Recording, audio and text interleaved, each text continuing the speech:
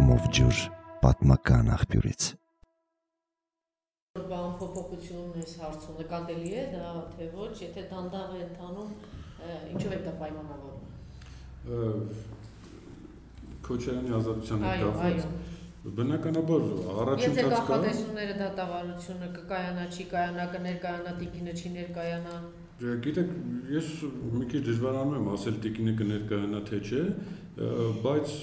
կարող եմ ասել հետեւյալը, որ իշխանությունների վախը հասկանալի է,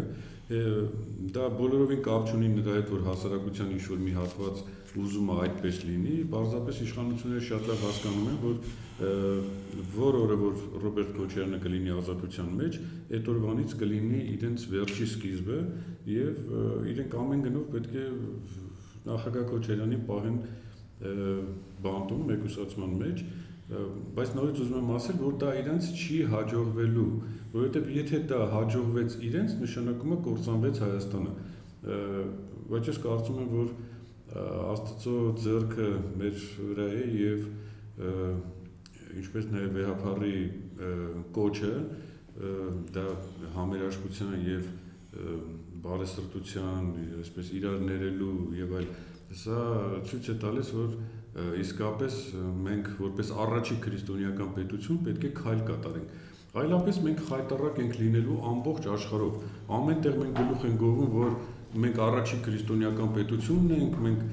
քրիստոնեությունը որպես կրոն այսքան տարիներ տանում ենք եւ չենք դավաճանել մենք այս գաղափարներին, բայց հիմա օրինակ տեսեք ինչ է ասեն աշխարհում մեր, մեր մասին Պետք է ասեն, այս այն ազգը, որի առաջնորդը,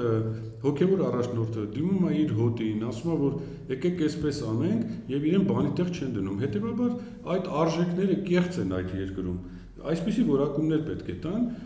եւ կարծում եմ սա հայերի լինել չլինելու լինելու խնդիրն է եւ մենք պետք է ապացուցենք, որ մենք կանք եւ մենք պետք է լինենք իսկ այսպիսի շարժումներ, այսպիսի բաներ շատ տարիներ առաջ են եղել,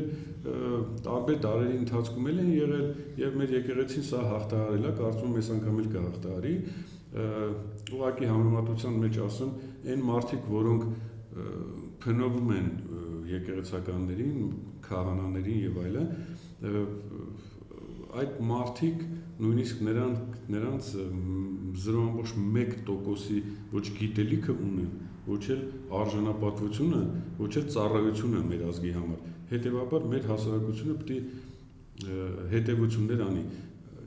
Ժամ process-ը գնում է բավականին դանդաղ, բայց կայուն։ Գնում ենք դեպի հաջողություն։ Իդեպ ասեմ, որ ինչպես արդեն բազմիցս ասել եմ դրա մասին, այս իշխանությունները այլևս 1000 հոգուց ավել չեն կարող հավաքել։ Սա թող մեր հասարակությունը իմանա։